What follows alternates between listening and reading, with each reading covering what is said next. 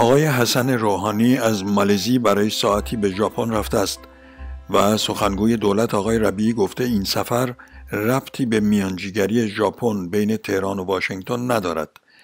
جای یادآوری است آقای آبه نخست وزیر ژاپن خرداد ماه در ایران بود و اگر سخنگو را باور کنیم این سفر چند ساعته معلوم نیست چه ضرورتی داشته. حتی اگر بدانیم زمانی آفتاب از شرق طلوع می کرد و این زمانی بود که قبل از تحریم ها ژاپن خریدار جدی نفت از جمهوری اسلامی بود.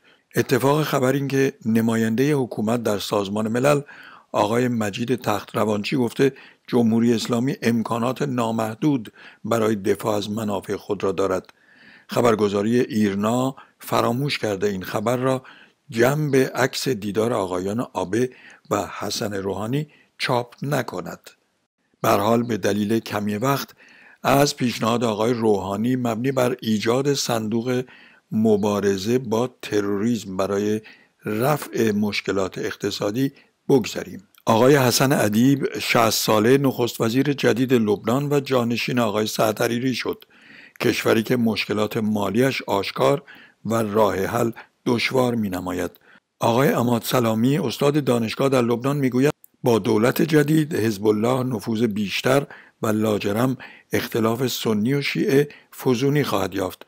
در این گیرودار آلمان هم خواسته جلوی هر نوع فعالیت حزب الله گرفته و آن ممنوع شود. آقای فرشاد ابراهیمی از سپاه پاسداران هم به بی بی سی فارسی گفته ما به بوسنی رفته ایم تا آنجا بمانیم.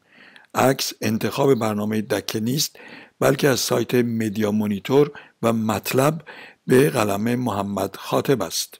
آنچه که می‌بینید و میشنوید مربوط به نقل خبر از پرستیوی شاخه تبلیغاتی جمهوری اسلامی است. اول اینکه به نقل از سخنگوی وزارت ارتش فرانسه نیروی دریای فرانسه از ماه آینده یک فرگات را به آبهای خلیج فارس می‌برد. دوم نیروی دریایی فرانسه تایید کرد که یک ناو امریکایی را در خلیج فارس همراهی و بدرقه کرده است. سوم اینکه پایگاه نظامی فرانسه در امارات متحده عربی تبدیل به پایگاه عملیاتی ضد جمهوری اسلامی شده است. خانم نانسی پلوسی می‌گوید تا زمانی که شرایط و اطمینان به نحوه روند پرونده آقای ترامپ را به دست نیاورد شکایت خود را در اختیار سنا قرار نمی‌دهد. در پی این گفته ها آقای پوتین این امر را مزحکه دانست و دور از اعتبار سیاسی تلقی نمود.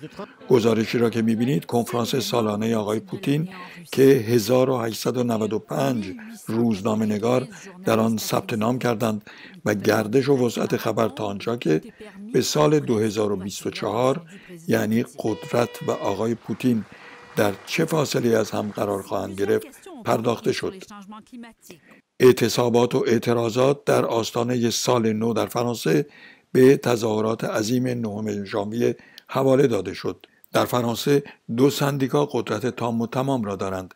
CFDT کنفدراسیون دموکراتیک کار فرانسه که رئیس آن آقای لوران برژ است و سال 1964 تأسیس و بیش از 650 هزار نفر عضو دارد. سندیکای دوم کنفدراسیون عمومی کار که تشکیلات چپ و آقای فیلیپ مارتینز رئیس آن است که در سال 1895 تأسیس شد و بیش از 600 هزار نفر عضو دارد این هر دو سندیکا بعد از ملاقات دیروز با نخست وزیر می‌گویند این دولت است که روغن روی آتش می پاشد. جالب است بدانید از سال 1947 تا به امروز حتی برای نمونه یک سال هم وجود ندارد که اداره راه آهن فرانسه اعتصاب نکرده باشد. یعنی شما با آگاهی شرایط تمام استخدام راهن می شوید و از آن پس هر سال به نحوه و شرایط کارتان اعتراض و اعتصاب می کنید و بالاخره خانم کلودین اوژه بازیگر فرانسوی که نقش بازیگر زن را در فیلم گلوله های آتشین در جیمز باند را داشت در سن 78 سالگی درگذشت. Domino, I need your help. Of course. That's why you made love to me. Look, I can't explain what this is all about, but you must trust me. Because you want me to help you. Look, Lago had your brother murdered, or it was on his orders. Thousands, hundreds of thousands of people will die, and very soon, if you don't.